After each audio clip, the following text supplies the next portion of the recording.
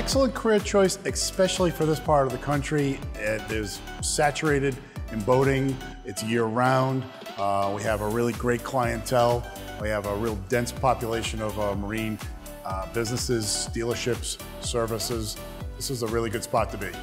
So the program encompasses a lot of things. There's electrical, there's computer service work, there's the general what I call service bay working on motors. There's also fiberglass repairs and what's called rigging, which is actually taking new boats and getting them set up for customers, customizing them.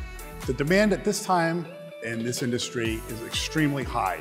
Any student who starts the program, completes the program, will absolutely get hired.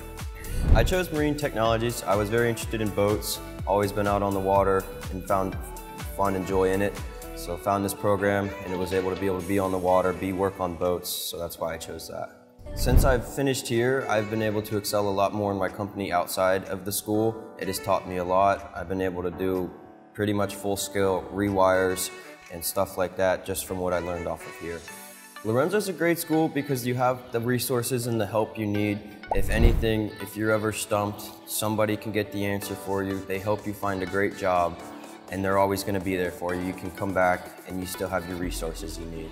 So if you're thinking about signing up for this course, I would do it. It's a great program.